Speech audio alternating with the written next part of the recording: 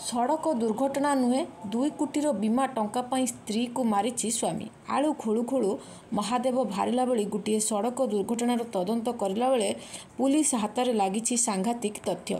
ପ୍ରଥମେ ପୁଲିସ ଯାହାକୁ ସଡ଼କ ଦୁର୍ଘଟଣାର କେସ୍ ବୋଲି ଭାବୁଥିଲା ବାସ୍ତବରେ ଏହା ପଛରେ ହତ୍ୟାର ଷଡ଼ଯନ୍ତ୍ର ଥିବା ଏବେ ଜାଣିବାକୁ ପାଇଛି।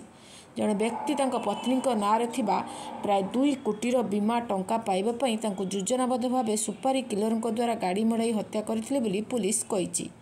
ରାଜସ୍ଥାନର ଜୟପୁରରୁ ଆସିଛି ଏଭଳି ଘଟଣା। ଅକ୍ଟୋବର ପାଞ୍ଚରେ ଜୟପୁରର ଶାଲୁ ଦେବୀ ତାଙ୍କ ସମ୍ପର୍କୀୟ ଭାଇଙ୍କ ସହିତ ବାଇକ୍ ଯୋଗେ ମନ୍ଦିରକୁ ଯାଉଥିଲେ।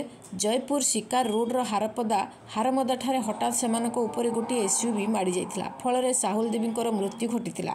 ପୁଲିସ ପ୍ରାଥମିକ ଭାବେ ଏହାକୁ ଏକ ସାଧାରଣ ସଡ଼କ ଦୁର୍ଘଟଣା ଭାବି ନେଇଥିଲା। କିନ୍ତୁ ତଦନ୍ତ ଚାଲିଥିବା ବେଳେ କୋଡ଼ିଏ ଦିନ ତଳେ ଘଟଣାର ଆସିଛି ନୂଆ ଟ୍ୱିଷ୍ଟ।